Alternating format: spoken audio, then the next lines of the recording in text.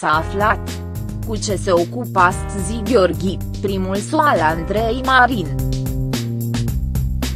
Andreea Marin nu a avut prea mult noroc în dragoste, dacă se temese privind puină în urmă.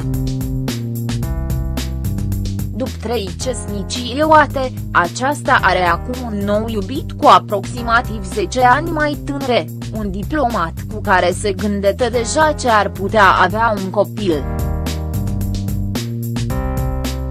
Înainte de deja celebrite fan Benic Juniori fizioterapeutul turc Tuncaios Turc, Zâna a fost cesătorit cu Gheorghi, scrie bugetul ro.